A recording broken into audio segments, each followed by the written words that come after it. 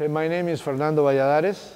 Today I am a producer, artistic producer of multicultural festivals, among other things. I do work in different sectors of the society apart from the artistic. I do consulting for the Italian, Portuguese, and Spanish community.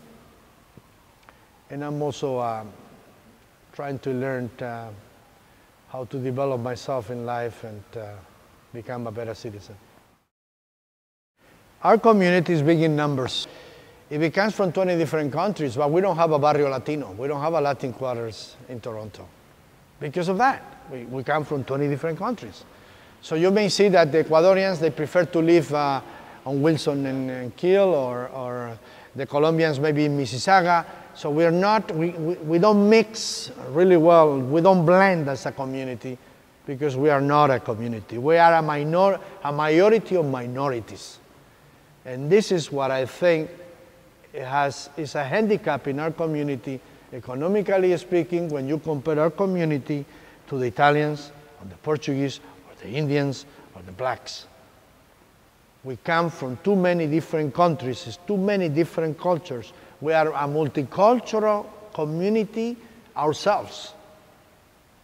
And we have not fully integrated as such as, such as a community. Well, Las Flores is an organization that was established in order to unite the Hispanic community as an umbrella organization to unite all these cultures in order to have a voice, a united voice for our community. Las Flores was the Latin media, the Latin media was Las Flores. We were all sitting down on a table when the need arrived and we all united. We were more united in 1972 and 1980 with a small group than we are today because the needs were more irrelevant. It wasn't only the Spanish media. We used to do uh, radiothons, and we used to go to CFTO, we used to go to City TV. So our community, when they saw the, the Canadians are benevolent people, are people that open their hearts to any disaster. When they saw that the Canadians were contributing through the Red Cross and all the collections, that's when our community woke up too.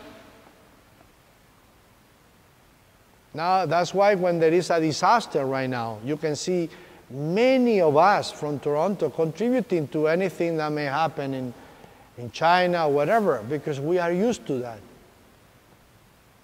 We grew together. So I came to see my father. I was on a sabbatical. I wanted to see my roots. I wanted to see why, who am I? Who is my father. I was disappointed.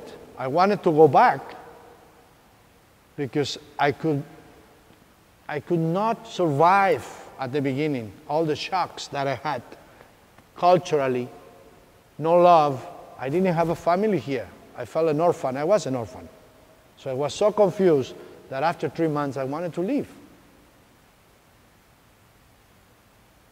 I came to see my father. My father wasn't here, even though he was here.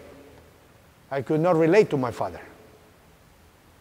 And then I saw all these multicultural groups, and, and I remember going to a restaurant and say, I want a kitchen sandwich, and everybody laughing. It was a chicken sandwich, but I could not express myself.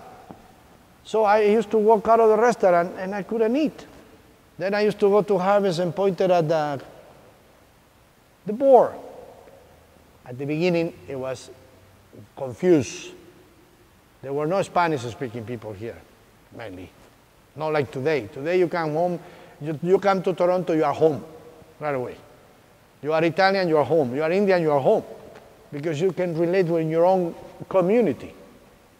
So at that time, we're talking about 40 years ago. I mean, uh, there was a different situation. Three months, I was, uh, no, I became 19 here. Then I was confused. I wanted to go back. And the reason I didn't go back is because immigration offered me an opportunity of help. Canada was a country in need of immigrants at that time. Today, still. But we do not recognize that today. When you look at it from a very philosophical point of view, the only way to succeed is to integrate and to respect and to grow together. That's what makes us Torontonians unique. Because we are like the true colors of Benetton. We are everything. We are so rich in culture that your culture, your food is good to me. And, and you know, and, and we are so rich that we don't need to leave Toronto to visit the world.